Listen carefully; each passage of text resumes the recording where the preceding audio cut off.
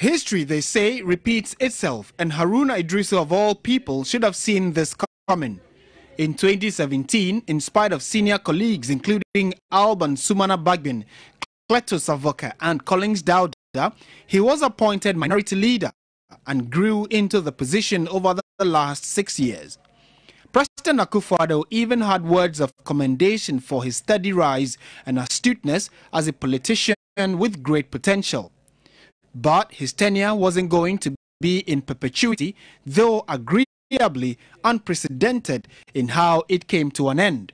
The fifth term member of parliament was nominated minority leader just two years older than the age of his successor who takes over at age 46.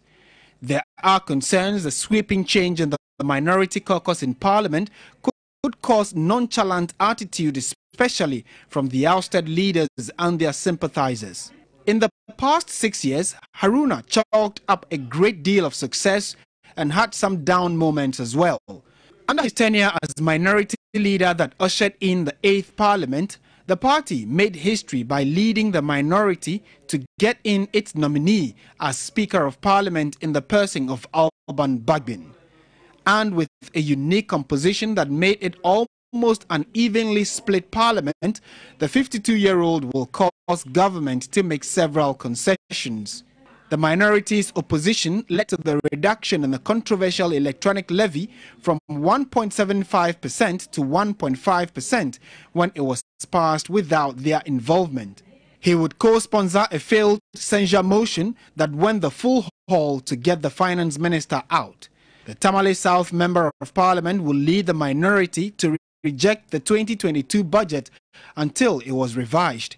He led a charge that caused the withdrawal of an 80 million cedi allocation to the National Cathedral project in the 2023 budget and the rejection of the two Supreme Court nominees in 2022.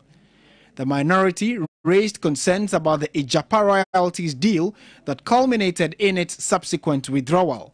MP for Dome Kwabenya Sarah Asafo can thank Haruna Iddrisu and the Minority Caucus for her continued stay in Parliament as her party, the NPP, wanted her kicked out.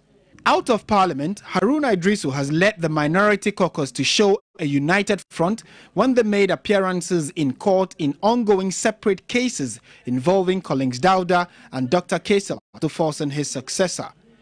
But it was not all rosy for the former minority leader. His party's director of communications, Sammy Gyamfi, took an issue with his leadership and team in parliament for betraying the party's position on issues. Haruna Iddrisu was seen to have unilaterally made a decision to compromise on the electronic levy bill if it was reduced against what was the decision of the NDC MPs to refuse it outrightly. Corruption allegations that were later withdrawn by Bawku Central MP Mahama Ayariga against the Parliamentary Appointments Committee in 2017 and the resignation of Samuel Okudzeto Ablakwa from the same committee in 2021 may be dents on his leadership and how the minority carried itself in the vetting of ministerial nominees. But Haruna, who believes posterity is a better judge of events, more now than ever has to believe in that principle as he sits on the backbench under the leadership of Dr. Cassiel Ato-Forson.